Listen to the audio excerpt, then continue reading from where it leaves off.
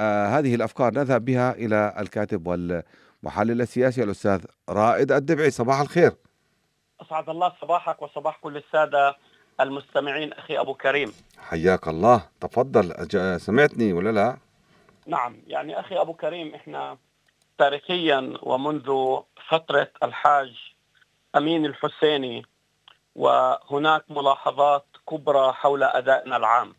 بمعنى إن الحاج أمين الحسيني كان يشكل قائدا ليس فقط على مستوى فلسطين إنما كان هو رئيس المؤتمر الإسلامي الأعلى الذي كان يتدخل على سبيل المثال في حل الخلافات بين قيادات الحركة الوطنية في العراق بل أكثر من ذلك يعني هو تدخل لدى اليابان على سبيل المثال بعد لو انتهت الحرب العالمية الثانية بطريقة مختلفة استطاع انتزاع يعني آه، آه، آه، أوراق منهم مثلا لتحرير إندونيسيا أو غيرها من الدول. لكن بكل الأحوال إحنا كنا نعاني دائما إما من الكاريزمية المطلقة والشخصية التي كانت يعني تحظى بهذا الحجم الكبير من الشعبية والتي كانت تطغى دائما على المؤسسة.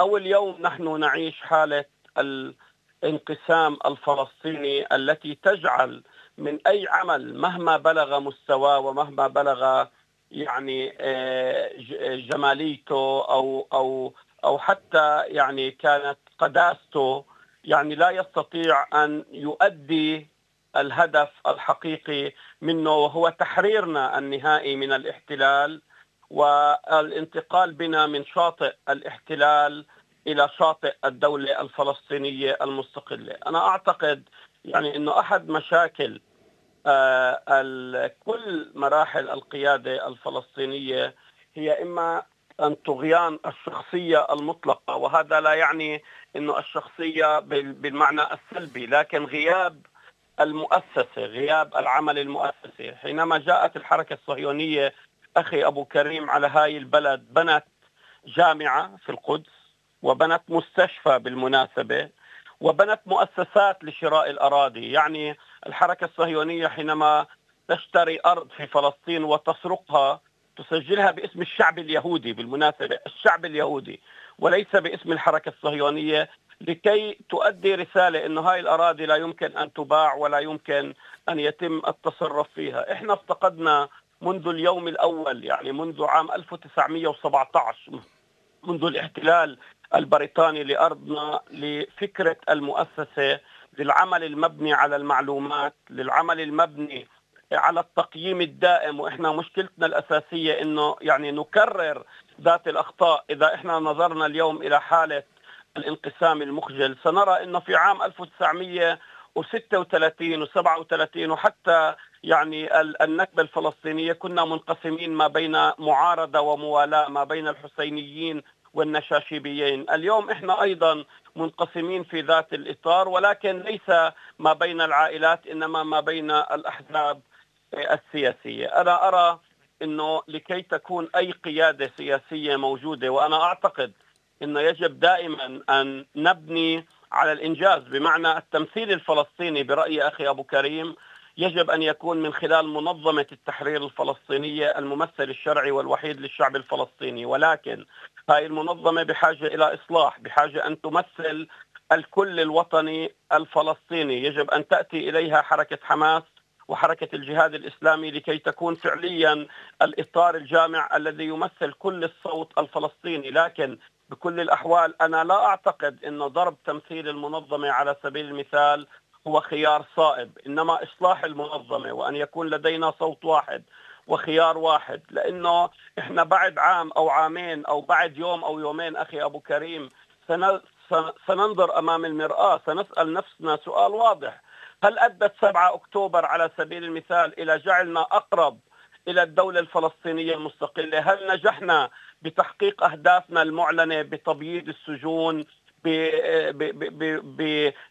برفع الحصار عن قطاع غزة بجعل المواطن الفلسطيني في الضفة الغربية وفي قطاع غزة أقرب إلى تحقيق الحلم الفلسطيني بدولة فلسطينية مستقلة وعاصمتها القدس. هذا سؤال يعني لن نستطيع أن نتهرب منه. سنجيب. إذا كان الجواب نعم فأنا أعتقد أن هاي الخطوة كانت في الاتجاه الصحيح. إذا كان الجواب لا فعلينا أن نراجع أدائنا جميعا. لا ان لا أن ننصب محاكم ولا مشانق.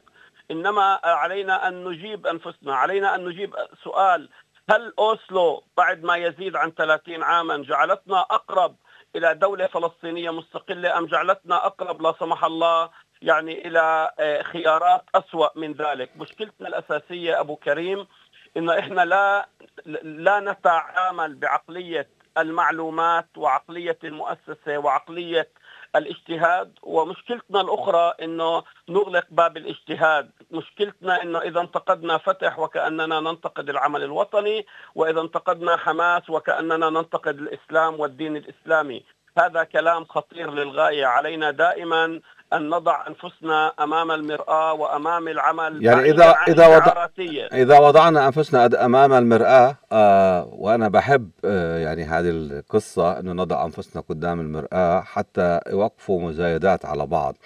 وحتى نوقف يعني مزايدات كلنا على بعض. بمعنى إنه عندما ذهبت آه، منظمة التحرير أو حركة فتح إلى أوسلو طبعا لم تستشر حماس ولم تستشر الجهاد الإسلامي وعندما ذهب الحماس والجهاد الإسلامي إلى الحرب لم يستشيروا فتح والسلطة.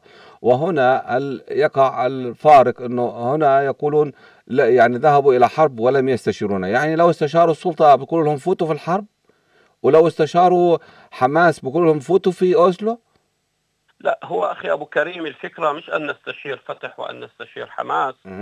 فكرة أن المجتمع الفلسطيني يعني فلسطين تضم 14 مليون إنسان.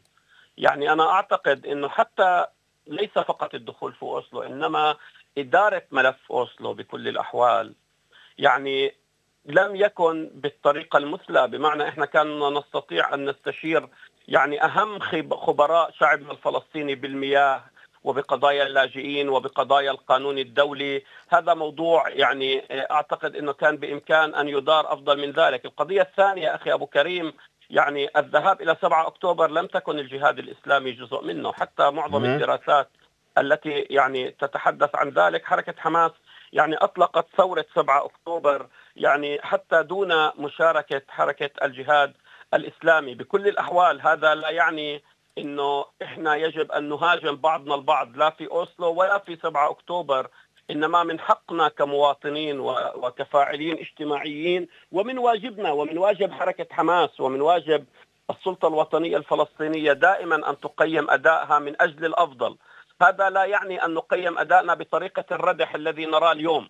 بطريقة التخوين التي نراها اليوم وبطريقة التكفير التي نراها اليوم إنما بطريقة المؤسسة بطريقة الأرقام بطريقة التقييم المبني على أسس وعلى معلومات. هل نحن أقرب إلى تحقيق أهدافنا أم أبعد؟ هل نحن بحاجة إلى تغيير الأدوات والسلوك؟ وكيف؟ وماذا؟ ولماذا؟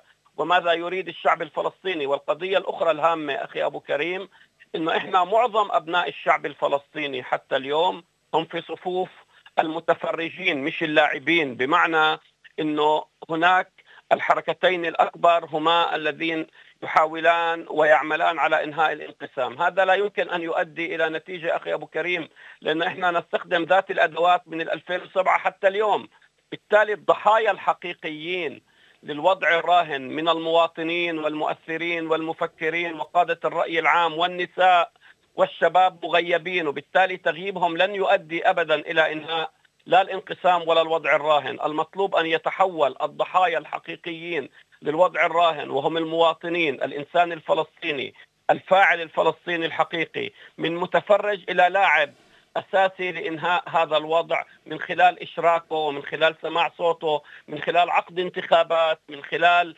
إشراك الشاب الفلسطيني والمرأة الفلسطينية والمثقف الفلسطيني في الشأن العام. دون ذلك سنبقى نراوح أنفسنا وسنبقى ندور في ذات الفلك لا سمح الله.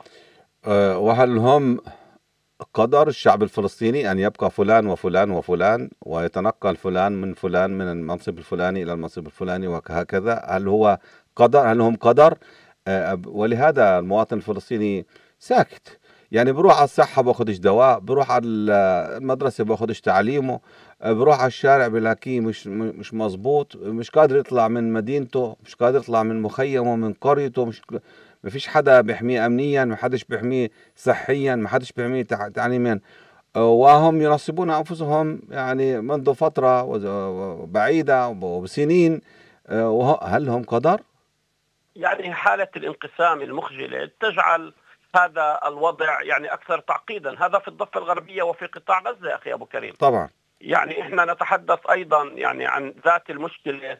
يعني ليس فقط لدينا في الضفة الغربية هذا يعني عدم التغيير إنما أيضا يعني في قطاع غزة قبل 7 أكتوبر لم يكن هناك انتخابات، لم يكن يعني هناك حياة ديمقراطية. بكل الأحوال.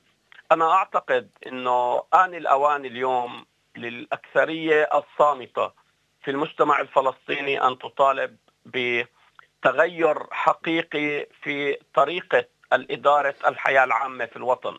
بمعنى يعني يجب أن يكون هناك مجلس وطني فلسطيني يتمثل في الشباب. يعني أنا بدي أقول لك قضية أخي أبو كريم يعني من قد يكون من المخجل أو من المضحك أنه المجلس الوطني الفلسطيني اللي فيه تمثيل للشباب يمثل الشباب في ناس ما لهم علاقة بعمر الشباب عمرهم فوق الخمسين عام. بالتالي يعني نحن نتحدث عن مجتمع فتي.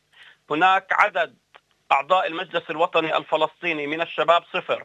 علما بأنه أسس أو ليس أسس آسف يعني ما بعد الانتقال آه، وانتقال قوات أو أو حركات الثورة الفلسطينية عام 1969 بعد أن استلمت القيادة منظمة التحرير الفلسطينية كان معظم قيادات منظمة التحرير الفلسطينية من الشباب بما في ذلك ياسر عرفات الذي كان شابا حينما يعني لم يكن في العقد الرابع من عمره حتى حينما استلم قيادة الشعب الفلسطيني. بالتالي يعني يجب أن يتم استماع آه، الاستماع إلى صوت الأغلبية الصامتة في المجتمع الفلسطيني. ويجب نعم. أن نعلم أخي أبو كريم إن الطريق الأولى والأهم والوحيده للخروج من هذا النفق الداخلي المظلم هو الوحدة الوطنية اولا وأخيرا هذا نعم. شعار قد يبدو صعبا وقد نقوله كل يوم وممكن الناس تزهق إنها تسمعه لكن هذا طريق يعني إجباري نعم. لا يمكن لنا أن نخرج من الوضع الراهن إلى وضع أحسن منه إلا من خلال الوحدة الوطنية